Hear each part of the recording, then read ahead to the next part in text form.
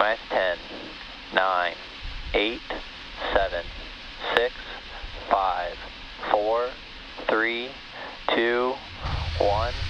Ignition and liftoff of Eutelsat Hotbird 13G. Go Falcon 9.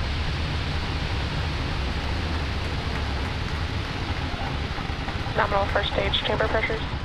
Vehicles pitching downrange.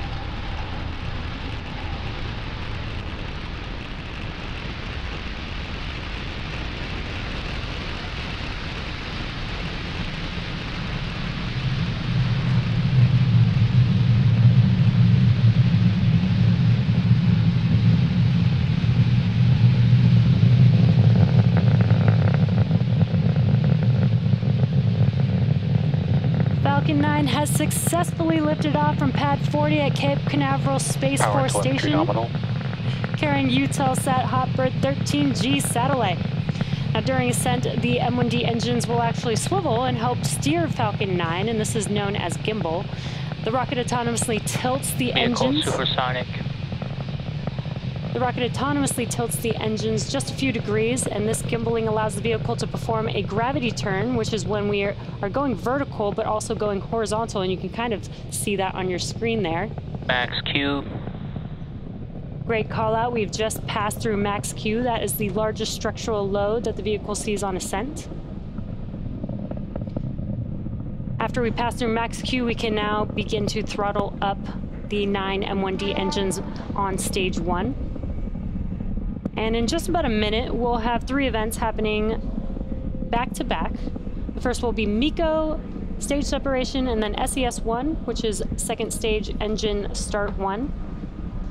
Got some really cool views. And back is showing in. Really cool views of those nine M1D engines on the first stage. Now, MECO is main engine cutoff, and that's where all nine of those engines will shut down, that prepares the vehicle for stage separation. Then stage one can make its way back down to Earth, while stage two continues with SES1 or second stage engine start one. That's where, where we will ignite that MVAC engine on the second stage for the first time for this mission. Again, coming up here in just a few seconds, we, we will have MECO stage separation and SES1.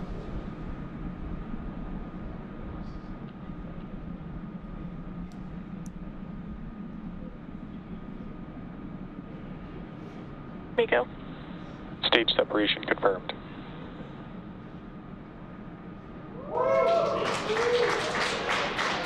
MVAC ignition. And there we could see MECO stage separation on your right hand screen. That MVAC engine is lighting up there. Coming up next, we will have fairing separation. The fairing halves flying today are flight proven, one half flying for the fourth time and the other for a sixth time. And on your left hand screen is a view of the first stage. The grid fins have now deployed.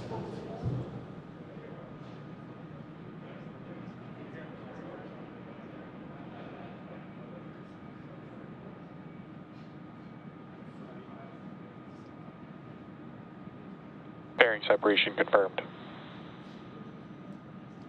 And there you can see on your right hand screen the fairing halves being jettisoned. Now we will be attempting to retrieve these fairing halves again today once they fall back down to Earth using our recovery ship, Bob.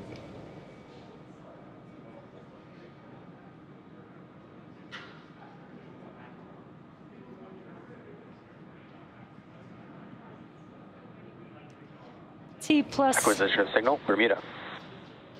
T plus four minutes into today's mission. That call out there was just uh, acquisition of signal of one of our ground stations. Now we're in the first of two planned MVAC burns prior to satellite deployment, and that's what you're seeing there on your screen is the MVAC on the second stage. The next event will be first stage entry burn, and that'll occur around T plus six minutes and 30 seconds. And you should also be able to see that on your screen. Now, for that entry burn, we relight three M1D engines, starting with the center one, which is the E9 engine, followed shortly thereafter by E1 and E5 engines. This burn is the first of two planned burns for the first stage and slows the vehicle down as it passes back into the Earth's atmosphere. Now, stage one does need to slow down to reduce the reentry forces, and that helps us to recover and reuse the vehicles. Vehicle on nominal trajectory. And great callouts. Vehicle is on nominal trajectories. That entry burn is just under a minute and a half away. And as a reminder, with a unique pan-European coverage, the high-power Hotbird satellites at 13 degrees east form one of the largest broadcasting systems in Europe, the Middle East, and Africa, delivering a thousand television channels to more than 160 million TV homes.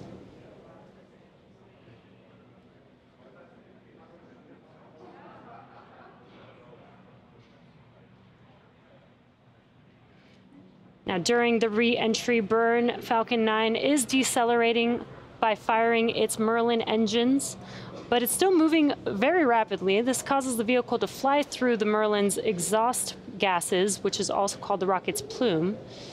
And this thin layer of soot from Falcon 9's carbon-based fuel, kerosene, is deposited onto the exterior of the vehicle. Again, entry burn for the first stage is in just under 20 seconds from now.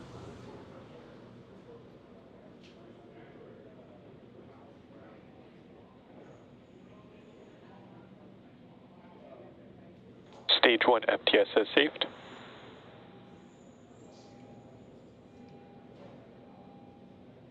Stage 1 entry burn startup. And as you can see, your left-hand screen light up there. Those three engines have ignited. This entry burn will last about 25 seconds long.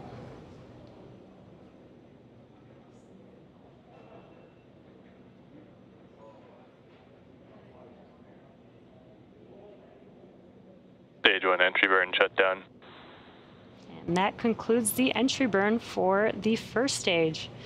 Now, for those that might not be familiar with why we land our rockets, reusability is key to lowering the cost of spaceflight, which enables more investments in critical science research. And the Falcon 9 first stage that is supporting today's mission performed this entry burn for the seventh time tonight, previously launching CRS-22, Crew 3, Turksat 5B, Crew 4, CRS-25, and one Starlink mission. Now we're about 30 seconds away from the next couple of events. Next up will be SECO, SECO 1, which is second stage engine cutoff 1. And that's when we shut down that MVAC engine on the second stage. And, allow, 1 transonic. and we allow that second stage to coast. And then shortly after Stage Se- 2 FTS is saved. shortly after SECO 1, we'll have the landing burn starting on the first stage.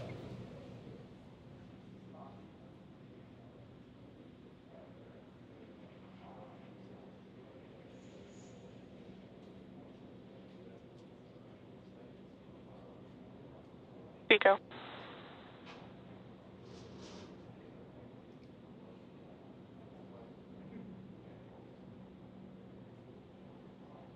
Stage 1 landing burn. There we've had SECO and stage one landing burn has begun. Let's watch as Falcon 9 touches down on just read the instructions. Landing leg deploy.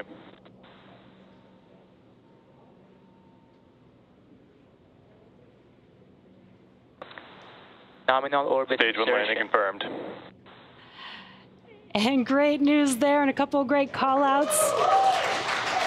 Falcon 9 has touched down on just read the instructions.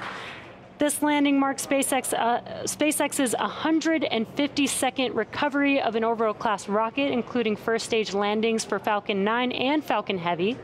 And we also heard SECO 1 and confirmation of good orbit. So now the mission isn't over just yet. The second stage is now embarking on its first coast phase. After the coast phase, we will light that MVAC engine for a second time around T plus 29 minutes.